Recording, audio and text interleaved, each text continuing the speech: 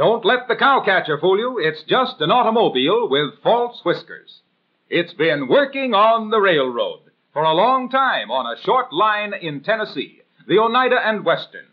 It carries the mail and express and passengers, in fact, everything but freight, and it's right on time, too. It's a run of 38 miles from terminal to terminal through the heart of the beautiful Cumberland district. At every station along the way, people get on and off. The engineer is mighty proud of his iron horse. The valve in head truck engine has 350,000 miles under its belt. The old iron horse can still take 'em there and bring 'em back. She can still make these mountain grades, even with loads of passengers and express. She still pulls like an army mule.